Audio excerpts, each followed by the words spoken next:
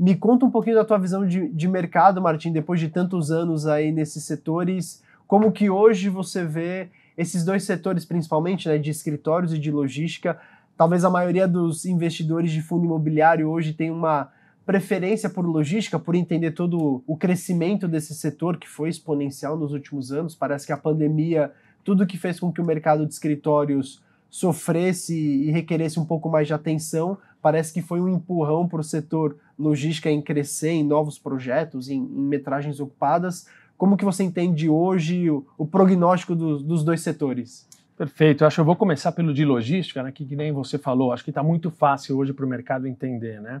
O mercado de logística já vinha se desenvolvendo muito rápido no Brasil, apesar de ser um mercado novo, quando eu comparo com escritórios, mas ele começou a se desenvolver muito e quando veio a pandemia existiu efetivamente um boom porque todo o consumo passou a ser feito através de logística. Ninguém podia sair na rua, ninguém podia ir num shopping, ninguém podia comprar absolutamente nada, tinha que comprar via algum aplicativo e você receber dentro da sua casa. Então aí começou sim a necessidade dos grandes centros de logística, próximos aos grandes centros consumidores, existia essa carência.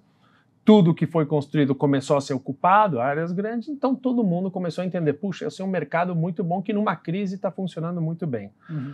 Mas é mais do que isso, né? não é simplesmente uma crise. Bom, passou a crise, então agora vai regredir? Não, pelo contrário, só acelerou um processo que deveria seguir. Hoje eu estava lendo, não lembro, não lembro que veículo, mas justamente ele estava falando que o Brasil cresce em consumo pela, pela internet, compras pela internet, ao ritmo de 30% ao ano. Ou seja, isso é um ritmo muito grande que significa Sim. que se precisa logística para fazer toda essa gestão das entregas dessas mercadorias das compras, que vai desde o produtor final ou de uma importação, eventualmente se for importação, para onde tem que ser levado, para os grandes centros de distribuição, depois para os pequenos centros de distribuição, o last mile, para depois você receber na sua casa.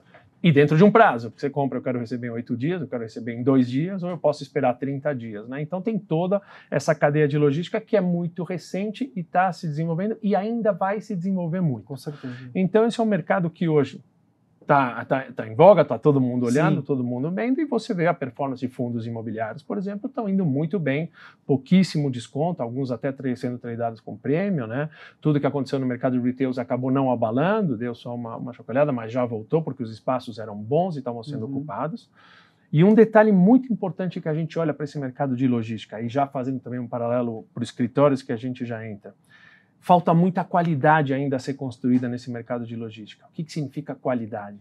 Grandes áreas onde a logística precisa de redução de custos por escala. Então, uhum. Se você consegue produzir um empreendimento com 200, 300 mil metros, é muito melhor do que construir um empreendimento com 20, 30 mil metros, pela questão de escala, de custos, Sim. né? Uhum. custo de portaria, custo de manutenção, Sim. custo de segurança. Então, esses detalhes. Então, como falta muita qualidade ainda, é um mercado que ainda pode aceitar muito novo estoque. Claro que o novo estoque com qualidade vai ser ocupado ao invés do estoque mais antigo, que já está, enfim, bastante desgastado bastante desatualizado no mercado. Então tem essa transição normal e é importante saber o que efetivamente é estoque disponível e aquilo que efetivamente já ficou defasado, que precisaria passar por um processo de transformação. Uhum. Então, esse é o mercado e um mercado que a gente atua, atuamos muito. Chegamos a ter na nossa primeira fase de logística um milhão e meio aproximadamente de metros quadrados. Uhum. Vendemos, hoje a gente já está em 450, podendo duplicar esse tamanho só com o que a gente tem dentro. Então, é um mercado que a gente acredita que vai continuar.